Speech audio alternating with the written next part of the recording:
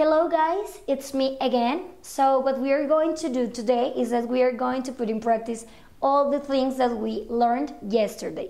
So remember that we learned yesterday the wish. What are the things that explain us wish?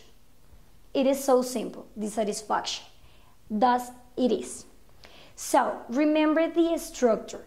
It is the nouns plus wish plus past past um, past continuous. Depending on what you are going to say, you can use past uh, simple or past continuous.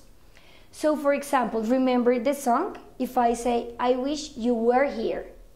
So, in that sense, I am using past, past simple. But what about if I say, I wish you were working here? In that sense, remember that I, that I am adding the ing. So it is so simple. And what happens if I say, for example, I wish I had more money? In that sense, those are the things that you need to keep in mind when you are going to develop wish. So remember, the keywords about wish is dissatisfaction. Depending on what you are going to say, it is just past simple or past, or past continuous. In here, you are going to face those examples that you keep in mind when you are going to develop the activity. So guys, that's it for, to, for today.